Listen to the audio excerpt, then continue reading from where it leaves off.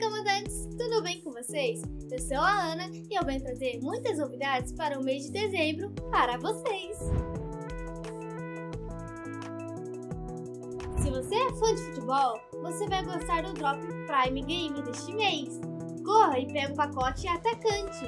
Nele tem muitos decalques e um novo comandante. Vale lembrar que o pacote só vai estar disponível até o dia 13 de dezembro. Atualização 1.19 vai ficar disponível em breve. Nela você vai poder encontrar uma nova recompensa merecida e um modo fliperama. E claro, a tão esperada Operações Festivas também vai chegar com ela.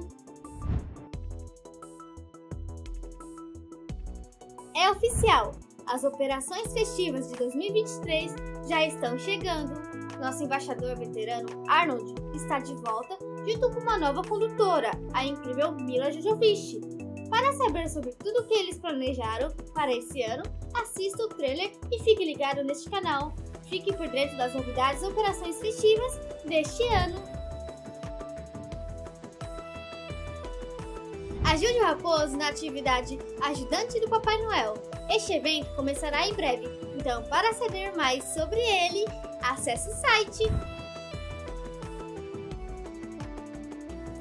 Fique ligado no Campeonato Brasileiro do World of Tanks, que acontece todo sábado e domingo, a partir das 6 horas da tarde, em nosso canal da Twitch.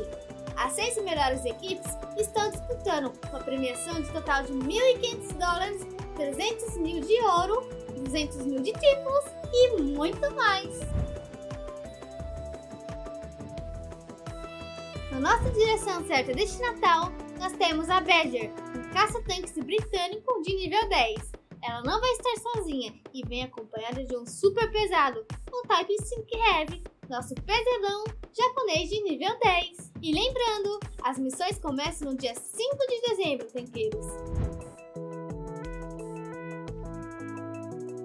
Para comemorar o aniversário de 78 anos da Batalha das Ardenas, teremos várias missões para você completar entre os dias 15 e 26 de dezembro. Já estamos no final do vídeo, comandantes.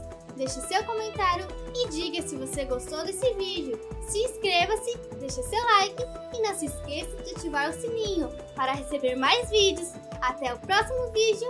Tchau!